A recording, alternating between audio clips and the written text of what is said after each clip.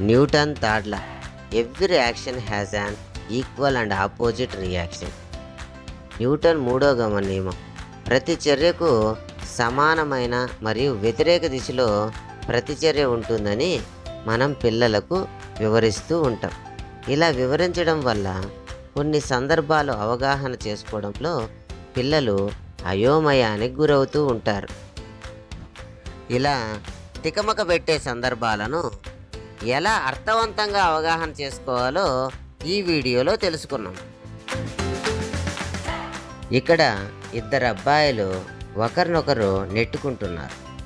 చివరకు ఓ అబ్బాయి బౌండరీ బయటికి వెళ్ళిపోయాడు.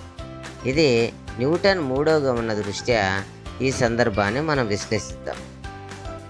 ఏ అనే అబ్బాయి బి అనే అబ్బాయి మీద పనిచేసే బలం చర్య అయితే బి అనే అబ్బాయి ఏ అనే అబ్బాయి మీద పనిచేసే బలం ప్రతిచర్య. ఈ రెండు ఒకదానికొకటి ఆపోజిట్గా సమానంగా ఉన్న ఎడల ఓ అబ్బాయి ఎందుకని వెనక్కి వెళ్ళిపోయాడు ఇద్దరు ఒకే స్థానంలో ఉండాలి కదా?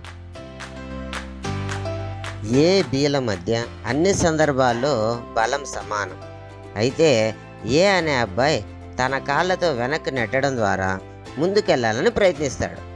అదేవిధంగా బి అనే అబ్బాయి తన కాళ్ళను వెనక్కి నెట్టడం ద్వారా ముందుకెళ్ళాలని ప్రయత్నిస్తాడు. ఏ బీలలో ఎవరైతే నేలను బలంగా నెడతారో వారే విజేతలవుతారు. వాళ్ళిద్దరి మధ్య ఉన్న బలాల వల్ల ఫలిత బలం ఏర్పడడం లేదు. నేలను నెట్టే బలాల్లో ఉన్న తేడా వల్ల ఫలిత బలం ఏర్పడుతుంది. ఇందువల్లనే ఒకరు విజేతగా నిలుస్తున్నారు.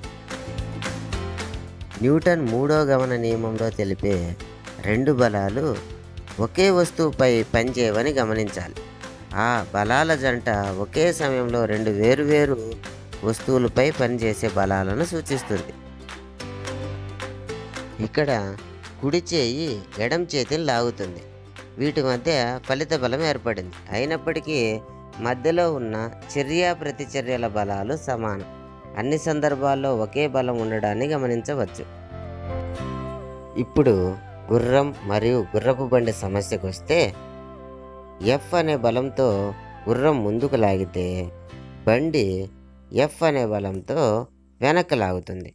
మరి గుర్రపు బండి ముందుకు ఎలా కదులుతుందో తెలుసుకున్నాం మా పిల్లలు. బండి మీద ప్రయోగించబడిన బలం గుర్రం మీద ప్రయోగించబడిన బలం ప్రతి క్షణం సమానమే. అయితే గుర్రం నేలను కాళ్ళతో తన్నుతూ నడుస్తుంది.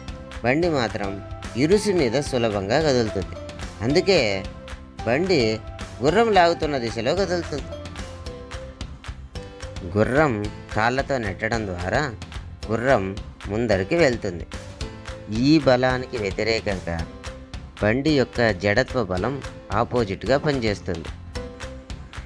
ఈ రెండు బలాలు సమానమైనప్పటికీ ఈ రెండు వేరువేరు వస్తువుల మీద ప్రయోగించబడుతున్నాయి. కావున ఒకదానికొకటి రద్దు కాకుండా గుర్రపు బండి ముందుకు పోగలుగుతుంది. చివరగా న్యూటన్ మూడో గమన నియమం every action has equal and opposite reaction ప్రతి చర్యకు సమానమైన మరియు వ్యతిరేక దిశలో ప్రతిచర్య ఉంటుంది అని మాత్రమే కాకుండా ఇలా చెప్పాలి. పిల్లలు పూర్తి అర్థవంతమైన న్యూటన్ మూడో గమన నియమాన్ని తెలుసుకున్నాం. Every action has an equal and opposite రియాక్షన్తో పాటు these act on two different bodies అని తెలుసుకోవాలి. ప్రతి చర్యకు సమానమైన మరియు వ్యతిరేక దిశలో ప్రతిచర్య ఉంటుంది. అది మాత్రమే కాకుండా ఈ రెండు చర్యలు రెండు వేరువేరు వస్తువులపైన పని చేస్తాయి అని గ్రహించగలరు.